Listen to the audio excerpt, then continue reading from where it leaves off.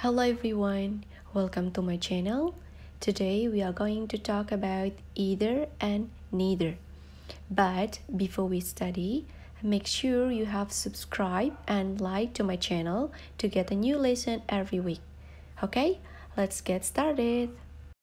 Ada tiga pola penggunaan either. Pola yang pertama yaitu menyatakan juga tidak yang digunakan setelah kata kerja negatif. Contoh, I'm not hungry, yang artinya saya tidak lapar. Dan kita akan menjawab, I'm not hungry either. Artinya saya juga tidak lapar. Bukan kita menjawab me too. Kalau kalimat positif, I'm hungry. Ya, kita bisa menjawab dengan me too. Pola yang kedua yaitu menyatakan salah satu dari dua hal.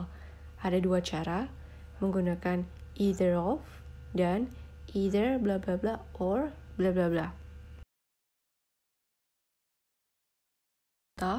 There are two good hotels here. You could stay at either of them. Yang artinya, di sini ada dua hotel yang bagus. Kamu bisa tinggal di salah satu hotel. Pola ketiga dari either adalah either or. Contohnya, either mom or sister made a cake this morning. Yang artinya antara ibu dan kakak yang membuat kue tadi pagi. Tiga pola penggunaan neither